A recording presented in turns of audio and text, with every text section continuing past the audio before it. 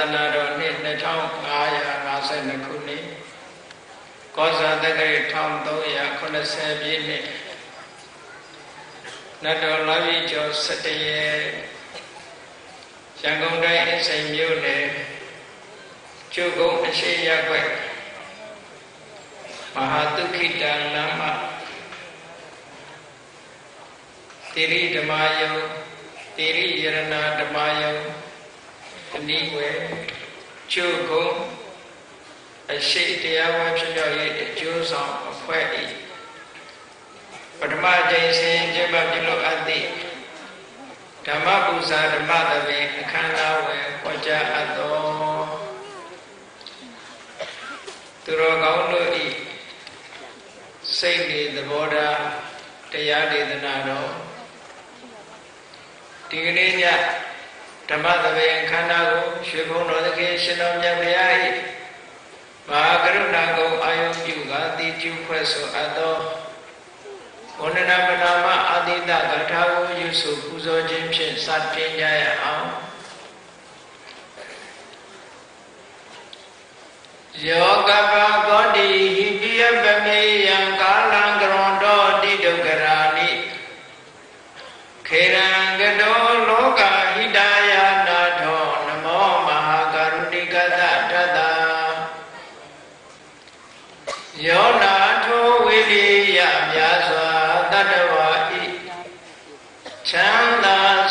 စီးပွားလူလာတောင်းတဘုံပေါင်းခါသဖြင့်နာထမြညာခြင်းရှင်တော်မြတ်မြာသည်ကပ္ပကောတိဟိတိဂရေကဘာအရေးအတွက်သင်္ချာတို့ဖြင့်တော်လဲအဘယ်မိယံရည်တွေတိုင်းတာဖော်ပြခြင်းကမစွမ်းနိုင်ပါသောကာလလေးအသိချေသိမ့်နေကဘာရှိကြသောကာလပတ်လုံး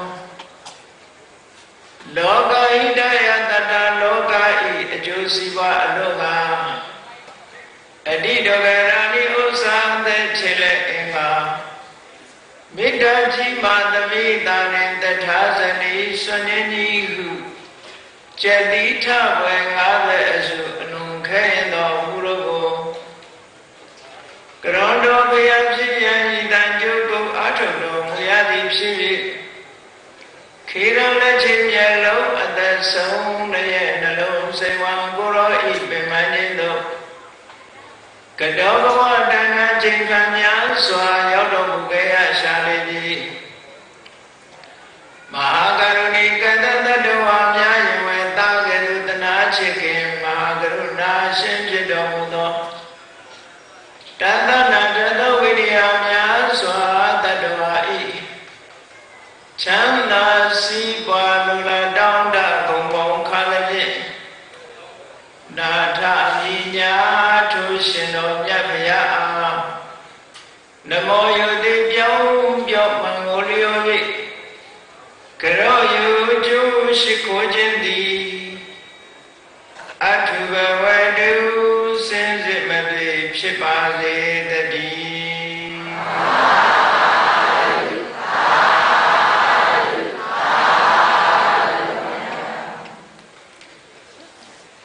သူတော်ကောင်းတို့ရဲ့စိတ်နေသဘောထား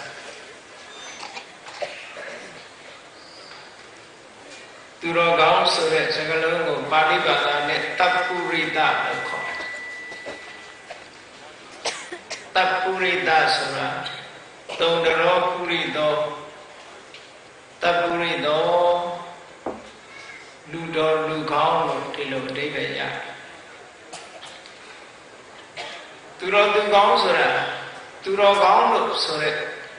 စကားလုံးအဓိပ္ပာယ်ကတော်လဲတော်တယ်ကောင်းလဲကောင်း တယ်ဆိုတဲ့အတိတ်ပဲရည်ညွှန်းတယ်တော်တယ်ဆိုတာအရေးချင်းရှိတာကောင်းတယ်ဆိုတာစိတ်ထားကောင်းတယ်ကိုချင်းတရားလည်းရှိတယ်စိတ်ထားလည်းကောင်းတယ်ကိုချင်းတရားပြည့်ဝပြီးတော့စိတ်ထားကောင်းတဲ့ပုဂ္ဂိုလ်တပ်ပုရိသသူတော်ကောင်းလို့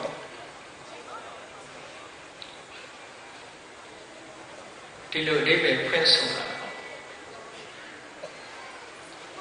ဗမာစကားမှာတော့သူတော်ကောင်းကိုမျိုးမျိုးဖွင့်ညံ့သေးတယ်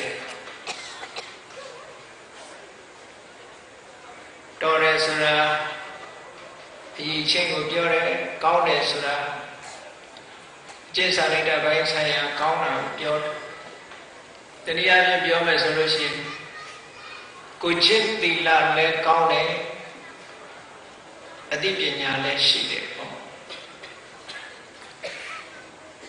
လူတွေကဒီလူကလူတော်လို့ပြောတာရည်ညွှန်းတာဘာရည်ညွှန်းလို့ဆိုသူ့ရဲ့ပညာအရေးချင်းကိုရည်ညွှန်းပြီးတော့ပြောလို့ရှိတယ်ဒီကောင်ကလူတော်ပဲဒီလူကလူတော်ပဲနဲ့ပြောတာပညာအရေးချင်းတစ်ခုကိုရည်ညွှန်းပြီးတော့ပြောတာလူကောင်းလို့ပြောတာကြတော့ကိုချင်းတရားကောင်းတာရည်ညွှန်းပြီးတော့စာပေလို့ပြောမယ်ဆိုရင်သီလလည်းရှိတယ်ပညာလည်းရှိတယ်ဒါလူတော်လူကောင်းလို့ ပြောကိုချင်းတရားတော့ကောင်းတယ်အသိဉာဏ်မရှိဘူးဆိုလို့ရှိရင်တချမ်းပဲ့သူ့အတွက်တော့ကောင်းကျန်တဲ့ပုဂ္ဂိုလ်အတွက်ကောင်းတယ်မှာပါသီလရှိတယ်တော်တော်အရေးချင်းကမကောင်းမတော်ဘူးတော့အရေးချင်းကတော့တော်ပါရဲ့ကိုချင်းတရားမကောင်းဘူးဆိုတာရှိသေးတယ် အဲ့တော့ဒီနှစ်ခုပါလူတဦးတယောက်ရဲ့အခြေခံအရေးအသွေးအဖြစ်ရှိတဲ့ရှိလိုက်တဲ့အရေးတွေဒီနှစ်ခုကိုထပ်ပြီးတော့ရှော့ချပြလို့မဖြစ်နိုင်ဘူးရှော့ချပြရမယ်ဆိုရင်ဘာကိုဦးစားပေးရမလို့လို့အကယ်၍အရေးအသွေးတစ်ခုတည်းပဲရွေးမယ်ဆိုရင်ဘာကိုဦးစားပေးရမလို့ဆိုကိုချင်းကောင်းတီလာရှိတဲ့လူကိုဦးစားပေးပြီးရွေးရမယ် ကိုချင်းတရားကောင်းမှုကတော့အဓိကကြတယ်ကိုချင်းတရားကောင်းပြီးတော့မတော်ရင်သူများကိုမကူညီနိုင်တာပဲရှိနေဒီပုဂ္ဂိုလ်ဟာကိုချင်းတရားကောင်းသည့်အတွက်ကြောင့်သူ့အတွက်လည်းကောင်းတယ်အများအတွက်လည်းကောင်းတယ်လို့ပြောရသို့သောသူရဲ့စွမ်းဆောင်မှုတွေကတိတ်ပြီးတော့မရှိဘူးအများကျိုးအတွက်လုံးနေစွမ်းတိတ်မရှိ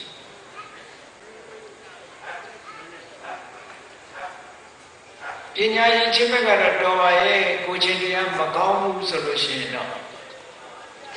ဒီပုဂ္ဂိုလ်မျိုးကအန္တရာယ်များတဲ့ပုဂ္ဂိုလ်မျိုးဖြစ်လာတတ်တယ်ကိုချင်းတရားမကောင်းတဲ့အတွက်ကြောင့်အဲ့တော့ရည်ကြီးဆုံးကသီလနဲ့ပညာလို့ဆိုရက်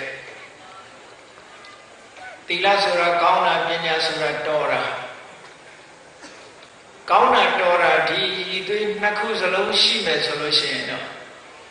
ဒီလူဟာတန်ဖိုးရှိတဲ့လူတစ်ယောက်ဖြစ်တာပေါ့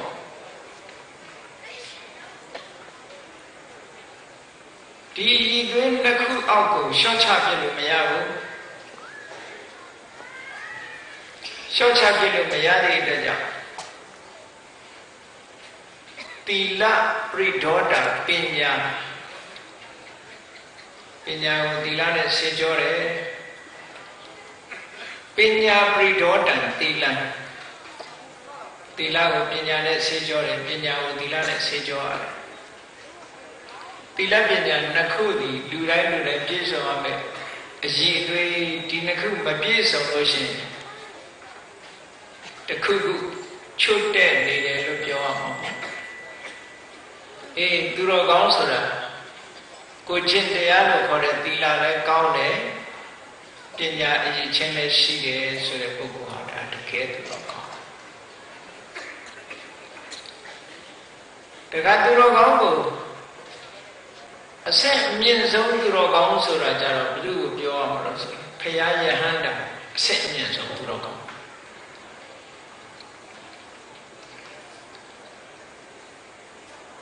ကျန်တဲ့သူတော်ကောင်းလို့သတ်မှတ်ရတဲ့ပုဂ္ဂိုလ်တွေလည်းရှိသေးတယ်အခြေခံအားဖြင့်သူတော်ကောင်းဆိုတာသီလနဲ့ပညာလို့ပြောလိုက်တဲ့ဖြင့်သီလဆိုတာဘာကိုရည်ညွှန်းတာလဲလို့မေးရင်သူစရိုက်တရား10ပါးကိုကျင့်သုံးတဲ့ပုဂ္ဂိုလ်သူစရိုက်တရား7ပါးကိုကျင့်သုံးပြီဆိုလို့ရှိရင်ဒီပုဂ္ဂိုလ်ကကိုကျင့်တရားကောင်းတဲ့ပုဂ္ဂိုလ်လို့ဒီလိုပြောရ ကံကံဤအကျိုးကိုနားလည်သိမြင်တဲ့ကမ္မတက္ကတာသမဒိဋ္ဌိထိုကမ္မတက္ကတာသမဒိဋ္ဌိတဲ့အစစ်မြင့်တဲ့ဝိပဿနာသမဒိဋ္ဌိဆိုတဲ့ဒီလိုအသိဉာဏ်မျိုးပါလာလို့ရှိရင်တော့လူတော်ဆိုတဲ့အဆင့်ကိုရောက်လူကောင်းဆိုတဲ့လူတော်ဆိုတဲ့အဆင့်ထိအောင်ရောက်တကယ်လူတော်ကောင်းဒါအခြေခံစံအားဖြင့်ဒီလိုတတ်မှတ်တယ် အဲ့သူတော်ကောင်းဆိုတဲ့အဓိပ္ပာယ်ကိုတတ်မှတ်တဲ့နေရာမှာအကြီးအသေးတွေကိုထုတ်ဖော်ပြီးတော့တတ်မှတ်တဲ့စနစ်တစ်ခုလည်းရှိသေးတယ်နတ်တွေကတတ်မှတ်ထားတဲ့အကြီးအသေးတစ်ခုကလည်းမှတ်သားစရာကောင်းတယ်တာဝရိန္ဒနတ်တွေကသူတော်ကောင်းလို့ဘယ်ပုဂ္ဂိုလ်မျိုးကိုသူတို့ခေါ်တယ်လဲဒါနတ်တွေကတတ်မှတ်ထားတဲ့စံတစ်ခုပေါ့နော် ခုနရေပုံရအပြင်ခြုံပြီးတော့သူတော်ကောင်းဆိုတာသီလနဲ့ပညာရှိတဲ့ပုဂ္ဂိုလ်သူတော်ကောင်းတာဝရိန္ဒနတ်ကနတ်တွေကအတိမတ်ပြုထားတဲ့သူတော်ကောင်းဆိုတာအဲ့ဒီထဲကနေရွေးထုတ်ပြီးတော့အည်အသွေး9ရပ်ကိုသူကထုတ်ဖော်ပြီးတော့ပြတာသူတော်ကောင်းဆိုတာဘာလဲဒီအည်အသွေး9ရပ်ကိုသတ်မှတ်ပြီးတော့ပြဋ္ဌာန်းပြောဆိုတာဟာလည်းပဲ သူတို့နတ်တို့ရဲ့ဘယင်နတ်တို့ရဲ့ခေါင်းဆောင်ဖြစ်တဲ့တရားမင်းကိုယ်တိုင်လူ့ဘဝတော်ကကျင့်သုံးခဲ့တဲ့ကျင့်ဝတ်တွေကိုရည်ညွှန်းတာတရားမင်းကြီးကလူ့ဘဝတော်ကသူကိုယ်တိုင်ကျင့်သုံးလိုက်နာခဲ့တဲ့ကျင့်ဝတ်တရားတွေအဲ့ဒီကျင့်ဝတ်တွေကိုကျင့်တဲ့ပုဂ္ဂိုလ်အဲ့ဒီအည်ချင်းတွေကိုကျင့်တရားတွေနဲ့ပြေဝတဲ့ပုဂ္ဂိုလ်ကိုသူတော်ကောင်းလို့တာဝရဏတတ်တွေကတတ်မှတ်ကြတယ်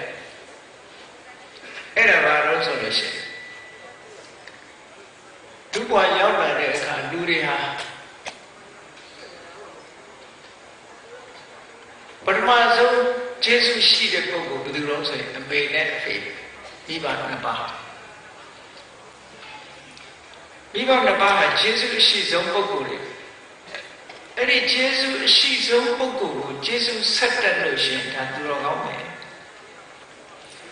မာတာပိတိဘရောအသက်ထဆုံးမိဘနှစ်ပါးကိုလေးလေးစားစားနဲ့ပြုစုစောင့်ရှောက်တတ်တဲ့သာသမီကိုသူတော်ကောင်းလို့တာဝရိတလက်တွေကလက်တွေကသတ်မှတ်တယ်ဒါတကယ်သူတော်ကောင်းပဲ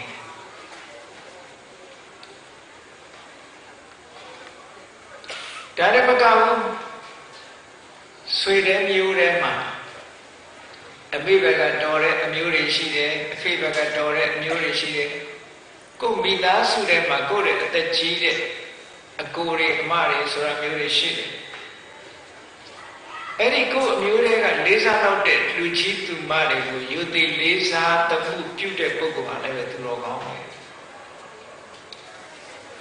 အဲ့တော့အပြန်အားဖြင့်ပြောမယ်ဆိုလို့ရှိရင်အမေဖေကိုမပြုစုဘူးဆိုရင်သူယုံပါ ဝတ္တလတုတ်တံမှာဒီလိုပဲခေါ်တယ်သူတော်ကောင်းရဲ့စံချက်ဘက်ကသူယုံပါအမေဖေပြုစုမယ်ဆိုရင်သူတော်ကောင်းဆွေတဲ့မျိုးတွေကကြီးတဲ့ပုဂ္ဂိုလ်တွေကိုယူသေးလေးစားတယ်အဲ့ဒီပုဂ္ဂိုလ်ဟာလည်းပဲသူတော်ကောင်းပဲဟုတ်တာသူတော်ကောင်းလို့တတ်မှတ်အင်္ဂါနှစ်ချက်ရ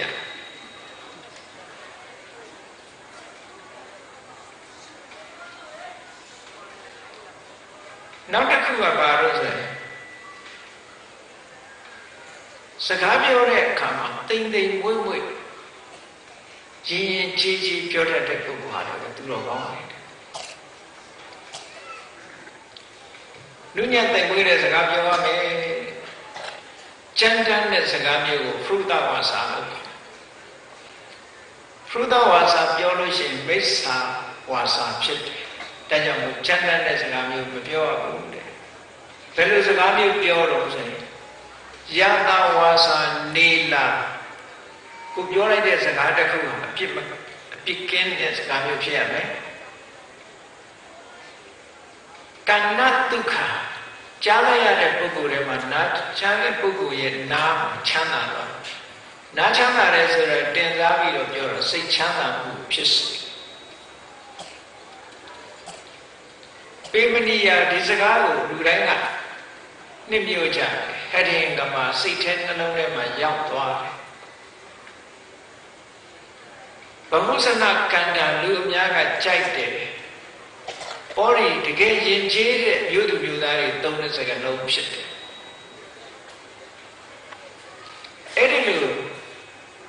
စကားပြောလို့ရှိရင်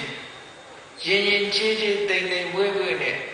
နားထောင်ရတဲ့တစ်ဖက်သားနားချမ်းသာလို့စိတ်ထဲနှလုံးထဲမှာစိတ်ဝင်သွားတဲ့စကားမျိုးလေဒါကချွဲချွဲပြစ်ပြစ်ပြောတာမျိုးပြောတာမဟုတ်ဘူးเนาะအဲ့ဒါမျိုးကိုပြောတာမဟုတ်သူပြောတဲ့စကားလုံးလေးကတန်ဖိုးရှိလိုက်တာတစ်ဖက်သားကစိတ်ချမ်းသာစရာဖြစ်တယ်ကြားလိုက်ရတဲ့စကားလုံးကလည်းတန်ဖိုးရှိတဲ့အနှစ်သာရရှိတယ်ဒီစကားမျိုးကိုဆိုအဲ့ဒီစကားမျိုးကိုပြောလို့ရှိရင် ဒါဖရုဒဝါစာကကင်းတဲ့အတွက်ကြောင့်တဏ္ဍသိမ်မွေးတဲ့တခိလတမ္မာတပြပြပြပြပြောတတ်တယ်အဲ့ဒီလိုပုဂ္ဂိုလ်မျိုးကိုလည်းပဲတာဝရိန္ဒနတ်ပြည်ကနတ်တွေကသူတို့ကောင်းလို့သတ်မှတ်တယ်နောက်တစ်ခုကအရက်ထဲမှာနေလို့ရှိရင်အချို့ပုဂ္ဂိုလ်တွေကအရက်ထဲကလူတွေတယောက်နဲ့တယောက် တအိမ်နဲ့တအိမ်မိသားစုတူနဲ့တူမတက်အောင်အတင်းဖြင်းပြောတတ်တဲ့အလေးထားရှိတယ်ဆိုတာအလုံးသိတယ်နော်လူနှစ်ယောက်ဆုံပြီးလို့ရှိရင်နောက်တစ်ယောက်အကြောင်းပြောမိတတ်ကြတယ်ပြောရဆိုတာအကောင်းပြောတာတဲ့အဆိုးပြောတာကပုံများတတ်တယ်နော်ဒါလူရဲ့သဘာဝကိုပြောတာအဲ့ဒါလို့ပြောတဲ့အခါ ဒါအတင်းဖြင့်ပြောတော့ခေါ်တာပေါ့နော်အဲ့ဒါလို့အတင်းဖြင့်ပြောလို့သူတို့နှစ်ယောက်ကကျန်တဲ့လူတယောက်ရဲ့အတင်းဖြင့်နေပြောပြီးတော့တယောက်ကသွားဆရာရှိလို့ထသွားလို့ရှိရင်ကျန်ရတဲ့လူတယောက်ကဘာပြောတော့ဆိုရင်မင်းငေါ်လိုက်တယ်သူလည်းတူတူပါပဲလို့အဲ့တော့လူတွေရဲ့အကျင့်မှာ တင်းဖြင်းပြောတာမျိုးဂုံးတိုက်တာမျိုးတယောက်နဲ့တယောက်မတက်အောင်လုပ်ချင်တဲ့စိတ်ဓာတ်မျိုးတွေရှိတယ်အဲ့ဒီစိတ်ဓာတ်မျိုးကင်းပြီဆိုလို့ရှိရင်သူတော်ကောင်းအေးအစင်ပြေတို့တယောက်နဲ့တယောက်အထင်မြင်နေလွဲပြီးမတည့်ဘူးဆိုလို့ရှိရင်ဘိနနာတန္တာတာကွဲနေတဲ့လူတွေကိုစိတ်ဆက်ပေးတယ်ပြန်ပြီးတော့ညီညွတ်အောင်လုပ်ပေးတယ်တဟိတနာလုပ္ပတာ အိုးခင်ခင်မင်မင်ရှိနေတဲ့ပုဂ္ဂိုလ်တွေပို့ပြီးတော့ခင်ခင်မင်မင်ရင်းနှီးနှီးဖြစ်အောင်ပြောပေးတယ်သမက္ကကရဏေဝါစံပါတိတာညီညွတ်တဲ့စကားလုံးတုံးနဲ့တူညီညွတ်အောင်ကပြောတယ်ကွဲပဲပြောမဲ့စကားမျိုးမတယောက်တယောက်မတည့်ဘူးအထင်လွဲမဲ့စကားမျိုးဘယ်တော့မှမပြောဘူးတဲ့တရားမင်းကြီးကိုယ်တိုင်လူဘဝလူလောကမှာနေတော့ကဒီကျင့်ဝတ်တရားတွေကိုတလေးတစားလိုက်နာကျင့်ခဲ့တယ်။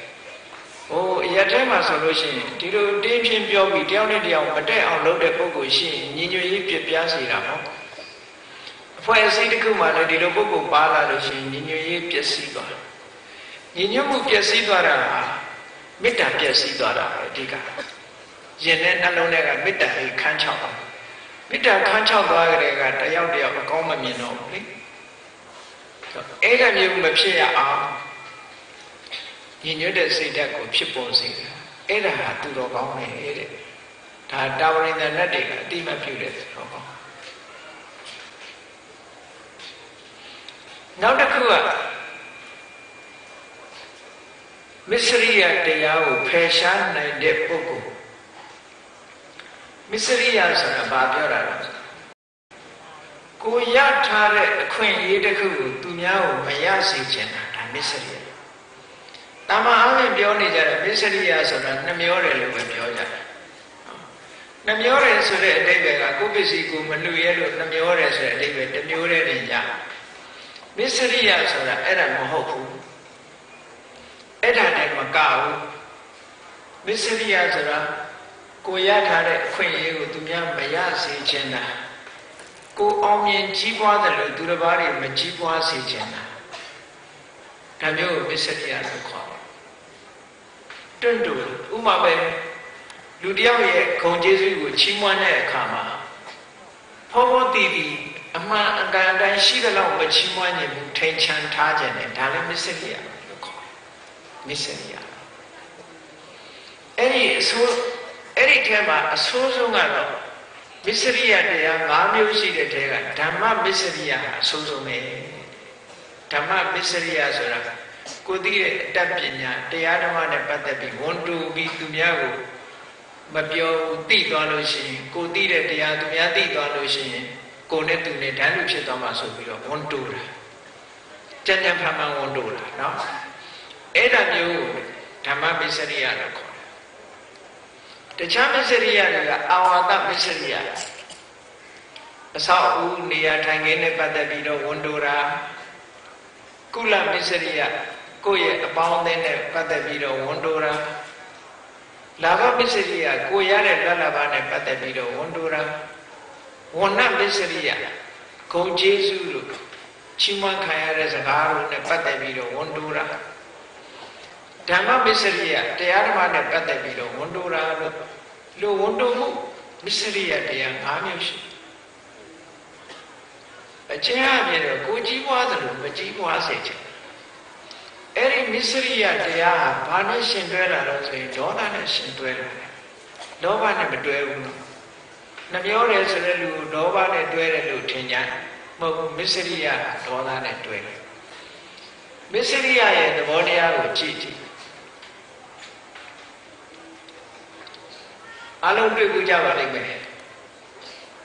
ကြောင်ဝင်လေးတွေခွေးလေးကြောင်ဝင်လေးတွေကသူတို့ပါဇက်ထဲမှာကြွက်ကလေးတွေကောင်ရလာလို့ရှိရင် မန်ဖီးနေတာကိုတွေ့လေတယ်အဲ့ဒါဘာအတွက်မန်ဖီးတာလဲဆိုရင်မစ္စရိယသူရထားတဲ့အစာကိုလာပြီးတော့မထိနဲ့ဆိုတဲ့အတိတ်ပဲပဲတော့ဘေးကအကောင်လေးကိုမန်ဖီးတယ်ရန်လုပ်တယ်လေအေးတရိษံယုံရောက်ဘူးလို့ကြားရချင်းသေးတွေအစာကျွေးတဲ့အချိန်တွေ့ဘူးကြပါလိမ့်မယ်အစာရိစာဘောင်းဝိုင်းလင်လင်ကြီးသူတို့စားကြရတာမဟုတ်ဘူး ညနေအစာကျွေးတဲ့အချိန်မှာသွားကြည့်အစာကျွေးမဲ့လူလာကနေဆိုရင်ကြားရချင်းသေးတွေဟာရောက်ရက်ခတ်နေတယ်အေးအစာကျွေးတဲ့လူကအသားတစ်ကောင်လောက်ထဲထဲကိုပြစ်ထည့်လိုက်တာနဲ့တပြိုင်နက်ကြားရချင်းသေးတွေမလုပ်လို့ဆိုရင်အဲ့ဒီအသားကိုကတ်ပြီးတော့ရန်လိုက်လောက်နေတာပဲမန်ဖီပြီးတော့ဟဲ့ဒါပါလို့ဆိုရင်မစ္စရိယရဲ့သဘောပြောတာနော် သူရထားတဲ့အစာကိုလာပြီးတော့မထိနဲ့တိမ့်ပိုက်ထားပြီးကျန်တာတွေကိုမထိနဲ့ဆိုတဲ့သဘောနဲ့ဒေါသနဲ့မန်ဖီတာမစ္စရိယဖြစ်လာရင်ဒေါသဖြစ်တာစမ်းကြည့်ပေါ့ခွေးကလေးနှစ်ကောင်ပါတစ်ကောင်တစ်ကောင်ကစားနေတဲ့ကြားထဲမှာအမဲရိုးလေးတစ်ချောင်းသာပြစ်ချချစ်လိုက်ကြိုက်မှသေးကြတယ်နော်အစာအတွက်ရတဲ့ကောင်ကလည်းလာမထိနဲ့ ဘောကကောင်ကလည်းလူမယ်အဲ့တော့ဒီမစ္စရိယဆိုတဲ့သဘောတရားကကိုရထားတဲ့အခွင့်အရေးတစ်ခုကိုသူများနဲ့ share ရမလုပ်နိုင်မလုပ်နိုင်တဲ့သဘောအဲ့ဒီမစ္စရိယဆိုတဲ့တရားတွေလူရဲ့ society အသင်းအဖွဲ့ထဲမှာအတ္တရေပြုပြီးတော့စီလုံးရေးကိုပြပြစေတဲ့တရားတစ်မျိုးဖြစ်သွားကြပါအဲ့ဒီမစ္စရိယတရားဖယ်ရှားရမယ် မစ္စရိယတရားဖယ်ရှားနိုင်လို့ရှိရင်ဘာတရားထွန်းကားလို့ဆိုစာခစွန့်ကြဲမှုစွန့်လွတ်မှုကိုရလာတဲ့အခွင့်အရေးတစ်ခုကိုအားလုံးနဲ့ share လုပ်ပြီးတော့ညညတတလူလောကမှာအသုံးပြုတတ်တယ်စာခလို့ခေါ်တယ်မွန်မြတ်တဲ့တရားတစ်ခုဒါကြောင့်မလို့တာဝရိဒတတ်တွေက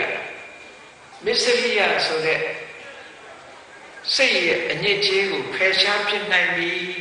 မစ္စရိယကဲတဲ့ပုဂ္ဂိုလ်ဆိုရင်ဒါသူတော်ကောင်းလို့ဒီလိုသတ်မှတ်ကြတယ်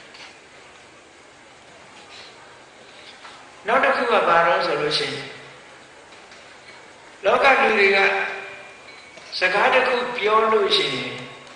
အမှန်တရားကိုတိတိကျကျပြောဖို့ရဝန်လေးနေတယ်လို့ဖြစ်တယ်ဒါကြောင့်ဘုလို့ပြောတယ်လေမူသားမပ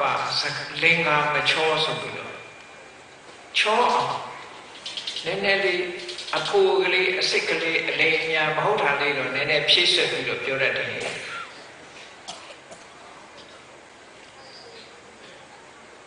အဲ့ဒီလိုမမမကန္နာလေးလုံးဝမထည့်ပဲနဲ့တကယ်အမှန်ကိုသာလေအဖြစ်မှန်ကိုသာလေမှန်တဲ့အတိုင်းပြောတဲ့အချိန်မှာပြောလို့ရှိရင်ဒါသစ္စာလို့ခေါ်အဲ့ဒီမှန်တဲ့သစ္စာစကားအလွန်တန်ဖိုးရှိပြီးအလွန်တကိုးကြီးတဲ့အရာတစ်ခုပဲ လူတိုင်းလူတိုင်းဟာဝစီသစ္စာလို့ခေါ်တဲ့မှန်တဲ့စကားကိုသုံးချပြီးတော့ကိုလိုချင်တာတစ်ခုပြောမယ်ဆိုလို့ရှိရင်ဒီသစ္စာရဲ့အစွမ်းတတ္တိရှိတယ်လို့ဆိုသစ္စာရဲ့အစွမ်းတတ္တိရှိမှန်တာကိုပဲပြောအဲ့ဒါလို့မမှန်ကန်ကန်မှန်တဲ့စကားကိုသာပြောရဲတယ်မှန်တဲ့စကားကိုသာပြောလိရှိတဲ့ပုဂ္ဂိုလ်မျိုးဟာလည်းပဲသူတော်ကောင်းပဲတဲ့ နောက်တစ်ခုကသူတော်ကောင်းလို့သတ်မှတ်ဖို့ရစားဘာလို့ဆို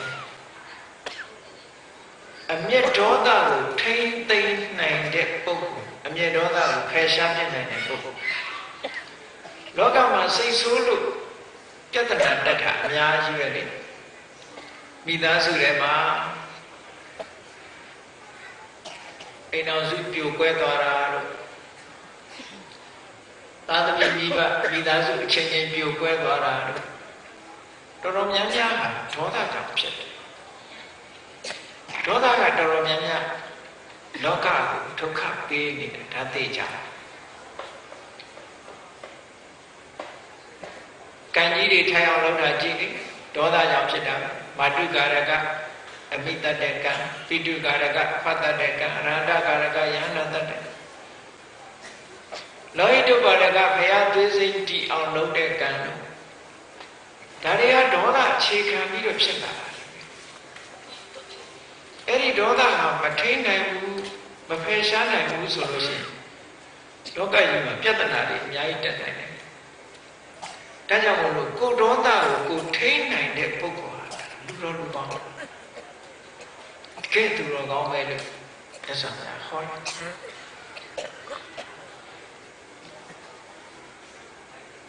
ဟန်တော်တွေတိပိမခုတ်ရဆိုတဲ့ပညာချက်နဲ့ပတ်သက်ပြီးတော့ယုတ်စိုးနဲ့တူရဲ့ဒေါသထိမ့်ပုံမြတ်စွာဘုရားဟောထားတာရှိတယ်အေးမြင်းစည်းလာတဲ့ပုဂ္ဂိုလ်သို့မဟုတ်မြင်းထားမောင်းတဲ့ပုဂ္ဂိုလ်မြင်းရဲ့ဇက်ကိုနိုင်အောင်ထိန်းမြင်းရဲ့ဇက်ကိုနိုင်အောင်ထိန်းနိုင်တဲ့ပုဂ္ဂိုလ်အဲ့ဒါကိုတကယ် ယထာထိန်လို့မခေါ်နိုင်ဘူးတဲ့ကုဒေါသကိုထိန်းနိုင်တဲ့ပုဂ္ဂိုလ်မှာတကယ်ယထာထိန်လို့ခေါ်နိုင်တယ်လို့မြတ်စွာဘုရားဟောထားတာရှိတယ်ရဟန်းတော်တစ်ပါးကကြောင်းဆောင်ဖို့ရအတွက်ကြီးမားတဲ့တစ်ပင်ကြီးတစ်ပင်ကိုလှဲတယ်ပေါ့လှဲတဲ့အခါမှာအဲ့ဒီတစ်ပင်မှာအမိပြုတ်ပြီးတော့ဘုံဘိမှန်ဖြစ်နေတယ် ဘုံဘိမှန်မှာရှိနေတဲ့ယုတ်ကစိုးနတ်ကအရှင်ဘုရားတဲ့ကိုယ့်အတွက်အဆောက်အအုံလုံးချင်တာနဲ့တပည့်တော်ရဲ့အဆောက်အအုံကိုမဖြစ်စည်းပါနဲ့သူပြောတဲ့စကားလေးကလည်းဟုတ်တယ်ကိုယ့်အတွက်အဆောက်အအုံလုပ်ဖို့အတွက်သူများအဆောက်အအုံမဖြစ်ပါနဲ့ပြောတော့ဟိုကောနားထောင်နားထောင်တော့သူပြောလို့မရတော့ဘာလုပ်လို့ဆိုရင်သူ့ရဲ့သားငယ်ကလေး ခုတ်မဲ့နေရကိုရုပ်ကစိုးကသူ့ရဲ့သားငယ်ကလေးရှေ့ကထားလိုက်ရင်တော့ဒီကိုတော့ခုတ်မှာမဟုတ်ဘူးဆိုပြီးတော့တစ်ပင်ဖြတ်နေတဲ့ခုတ်နေတဲ့ဓာခုတ်မဲ့နေရကိုကလေးလေးကိုရုပ်ကစိုးသားလေးကိုထားလိုက်တဲ့ချိန်ဟိုကရောကလည်း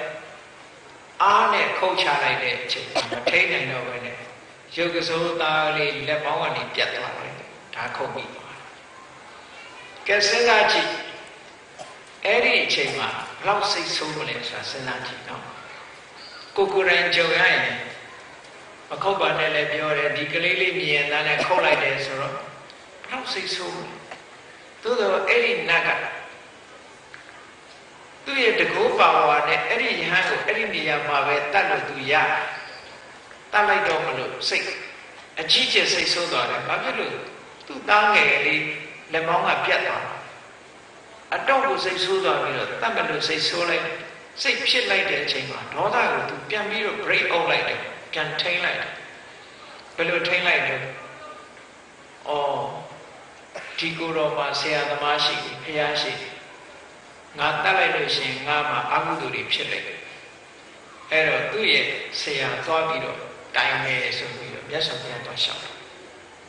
လျှောက်လိုက်တဲ့အခါကျတော့မြတ်စွာဘုရားအဲ့ဒီခုနကစကားလေးကိုအေးဒီလိုကိုဒေါသကိုကိုထိနိုင်တဲ့လူပါတကယ်ယထာတိအစ်စ်ပဲယထာထာရိအစစ်ဆိုဒီလိုပုဂ္ဂိုလ်မျိုးမှာအရှိန်နဲ့ထွက်လာတဲ့ဒေါသကိုဖမ်းပြီးတော့ထိမ့်လိုက်တယ်ဆိုတော့လွယ်တဲ့ကိစ္စမဟုတ်ဘူးဆိုပြီးမြတ်စွာဘုရားကချီးမွမ်းတယ်ဒီယဟန်ကတီလာရှိတဲ့ယဟန်နဲ့သွားတတ်ပြီးလို့ရှိရင်မင်းအကုသိုလ်တွေဖြစ်ပြီးတော့ငရဲကြရလိမ့်မယ် ကိုဒေါသကိုမထိန်နိုင်တဲ့အတွက်ကြောင့်အခုလိုမတတ်ပဲကိုဒေါသကိုထိန်တာသိကောင်းတာပဲနဲ့မြတ်စွာဘုရားကတရားဟောပြီးတော့ဇေရွန်ကျောင်းတော်ထဲမှာဘယ်နှမှမရှိတာမကြခင်ကမှလက်ကသုတေသွားလို့အားသွားတဲ့ဗိမ္မာန်တစ်ခုကိုညွှန်ပြီးတော့မြတ်စွာဘုရားအဲ့ဒီမှာနေလို့သူ့ကိုနေရာချပေးထားဟောဒေါသကိုထိန်းနိုင်တဲ့ဟာသူတော်ကောင်းပဲ ဒေါသကိုထိန်းနိုင်တယ်သူတော်ဒါတရားကျင့်တယ်ဆိုတာဒီလိုလက်တွေ့ကျင့်တာကိုပြောတာနော်ဒါတဝရိသနဲ့တွေကနေပြီးတော့သူတော်ကောင်းတို့သတ်မှတ်ရတဲ့စံတွေကိုထုတ်ပြောတာအေကောင်းပြီဒီလိုသူတော်ကောင်းတွေကသူတော်ကောင်းတွေရဲ့စိတ်နေသဘောထားဆိုတာဘာကိုပြောတာလဲသူတော်ကောင်းတွေရဲ့စိတ်နေသဘောထားဟာကိုချင်းတရားကိုတန်ဖိုးထားတာသူတော်ကောင်းတွေရဲ့စိတ်နေသဘောထား ကိုချင်းတရားကိုဘယ်တော့မှမစွန့်လို့ဘာအကြောင်းနဲ့မှကိုချင်းတရားမစွန့်လို့အသက်ကိုစွန့်ရင်စွန့်ရပါစေကိုချင်းတရားကိုမပြတ်ပြားစေတာသူတော်ကောင်းတွေရဲ့စိတ်နေသဘောထားဒါကိုစာပေမှာပါဏံဇဇန္တိတန်တော်နာပိဋံတန်တော်သူတော်ကောင်းတွေဟာပါဏံကိုအသက်ကိုဇဇန္တိစွန့်ကြတယ် ဓမ္မံဓမ္မကိုတော့နာဇဟန္တိမစွန့်ကြဘူးဒါသူတော်ကောင်းရဲ့စိတ်နေသဘောထားကကိုချင်းတရားကိုဘာနဲ့မှမလဲဘူးကိုချင်းရမယ့်တရားကိုလွယ်လွယ်ကူကူနဲ့ဆက်လုပ်ပြုဆိုတော့ဒါဖြင့်အများပုဂ္ဂိုလ်တွေကဒါလွယ်တဲ့ကိစ္စလားလို့ဆိုမလွယ်ဘူးအများလူတွေကဘာတော့ဆိုရင်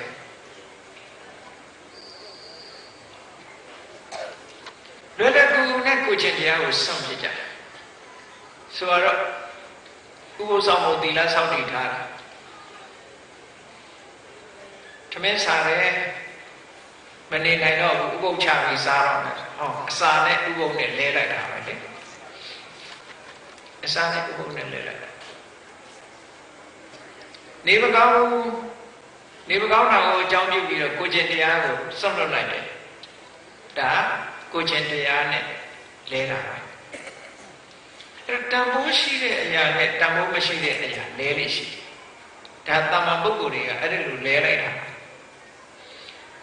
နှစ်ခုရွေးစရာပေါ်လာပြီဆိုလို့ရှိရင်ကိုချင်းတရားကိုပဲဆွန့်လွတ်လိုက်ပြီးတော့ကျန်တာကိုရွေးလေရှိတယ်ပေါ့။နောက်အခါမှာရောင်ရဆိုပြီးတော့လို့ဆွန့်ညာ။ကိုအတွက်နဲ့လဲကိုချင်းတရားကိုဆွန့်လွတ်တယ်။သူများအတွက်နဲ့လဲကိုချင်းတရားကိုဆွန့်လွတ်တယ်။ အတ္တဟေတုပရဟေတုအာမိတကိစိတ်ခဟေတုလတ်လပါကလေးတစ်ခုအတွက်နဲ့လည်းပဲကိုချင်းတရားကိုဆုံးမကြတယ်ဒါအများစုကတ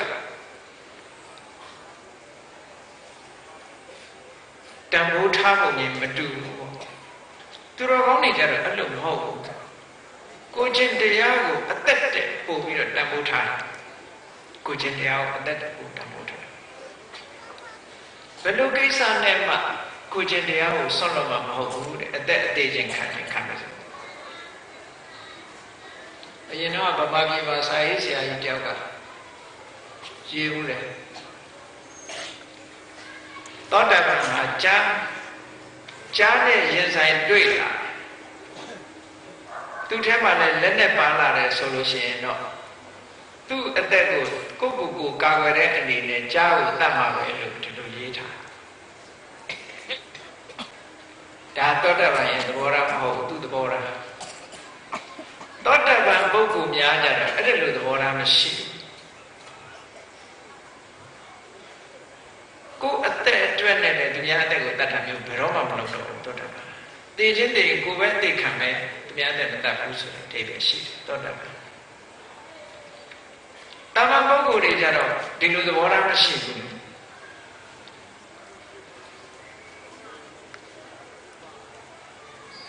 တဏ္ဏစစေအင်္ဂဝရတဟိတုခြခြေလက်အင်္ဂါကိုကိုခြေကိုလက်တစုံတစ်ခုထိခိုက်မှဆိုလို့ရှိရင်ဥပမာပဲခြေဖြတ်ခံရမယ်လက်ဖြတ်ခံအင်္ဂါခြေလက်ပျက်စီးသွားဖို့ရပျက်စီးသွားမယ်ဆိုတာကိုကာကွယ်ဖို့အတွက်ဘာလုပ်ရတော့ဆိုပစ္စည်းဥစ္စာကိုစောင့်ကြတယ်ပစ္စည်းဥစ္စာနဲ့ကာကွယ်လုပ်ကြတယ် တခုခုတော့စောင့်ရမယ်ဆိုတော့ခြေတွေလက်တွေမျက်စိတွေအပြတ်မခံနိုင်ဘူးပတ်စံပဲပေးလိုက်ဟောကိုအင်္ဂါအတွက်နဲ့အသက်ပစ္စည်းဥစ္စာကိုစွန့်တယ်တခါအသက်နဲ့ကိုအင်္ဂါဒီနှစ်ခုဆိုလို့ရှိရင်အသက်ရှင်တော်ပြီကိုအင်္ဂါကိုစွန့်တယ်ဒါကြောင့်မလို့အသက်မသေးအောင် ဟုတ်လားအသက်မသေးပြီးရောဆိုရင်ခြေတော်လည်းဖြတ်ရတယ်လက်လည်းဖြတ်ရတယ်ဥပမာကျမ်းမာရေးနဲ့ပတ်သက်လာပြီးတော့ခြေတော်ဖြတ်ရမယ်ဖြတ်ရင်အသက်ရှင်မယ်ဆိုဖြတ်ကြလက်ဖြတ်လို့အသက်ရှင်မယ်ဆိုရင်လည်းဖြတ်ကြဘာလို့ဆိုအသက်ကိုတန်ဖိုးထားတာ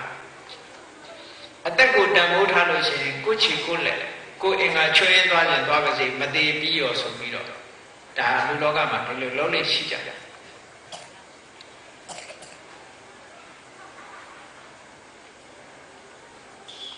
တရားနဲ့ပတ်သက်လာတဲ့အခါကျတော့တဲ့ပစ္စည်းဥစ္စာလည်းကုန်ပါစေကိုအင်္ဂါတွေလည်းပျက်စီးခြင်းပျက်စီးပါစေအသက်လည်းသိခြင်းသိပါစေတရားကိုတော့ပြတ်မခံဘူးသူတော်ကောင်းရဲ့စိတ်ဓာတ်ကအဲ့ဒါကိုချင်းတရားကိုတော့ဆုံးလို့မှမဟုတ်ဘူးဇတ်တော်ကြီးဆယ်ဘွယ်တွေက ဘူရိဓတ္တဆိုတဲ့ငကားမင်းကြီးဇာလန်းကိုဖတ်ဖူးတဲ့ပုဂ္ဂိုလ်တွေတွေ့တယ်ဥပုသ္တိလစောင့်တည်တဲ့အခါဖះလောင်းများကဒိဋ္ဌံထားနေရှိလူပြည်လူလောကလာပြီးတောင်ဘိုးပေါ်မှာခွေပြီးတော့သီလစောင့်တည်သီလစောင့်တည်တယ်ဆိုတာကျင့်စရာကျင့်မှာကိုကဘောင်းတောင်းလောက်တာအဋိဋ္ဌံပြုလိုက် ဒီကိုချင်းတရားကိုငါဒီကနေ့ပြည့်ပြည့်ဝဝသူများအသက်တတ်တာမလုပ်ဘူးသူများဥစ္စာခိုးတာမလုပ်ဘူးဆိုတဲ့သဘောပေါ့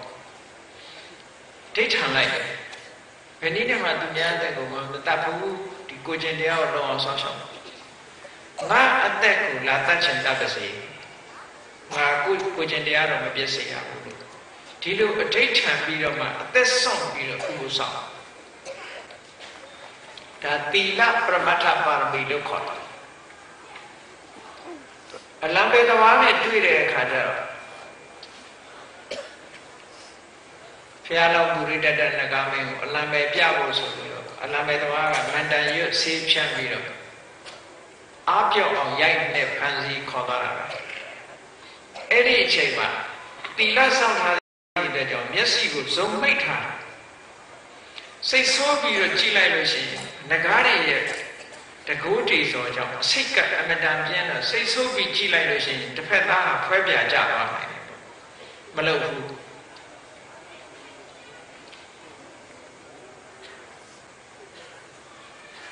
အဲ့ဒီလိုကိုယ့်အသက်ကိုစွန့်ပြီးတော့ကိုချင်းတရားကိုအသက်တဲ့တန်ဖိုးထားတာဒါသူတော်ကောင်းနေတဲ့စိတ်တွေသဘောထားပဲအဲ့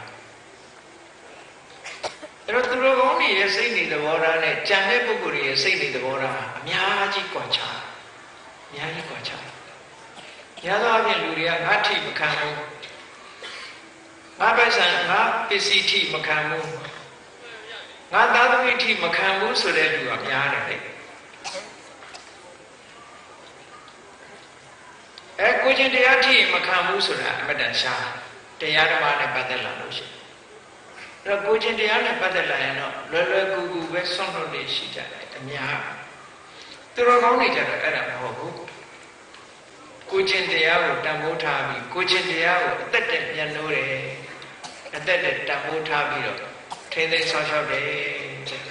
ဒါသူတော်ကောင်းတွေစိတ်လေးသဘောထားသူတော်ကောင်းအတွေးနဲ့သူတော်ကောင်းစိတ်သဘောထားနဲ့ဉာဏ်တဲ့ပုဂ္ဂိုလ်ရဲ့စိတ်သဘောထားဟာအများကြီးကွာခြား အဲ့တော့ကိုဘဝကိုမကောင်းတဲ့စိတ်ဓာတ်မပေါ်ရလေအောင်မကောင်းတဲ့အလုပ်ကိုမလုပ်မိရလေအောင်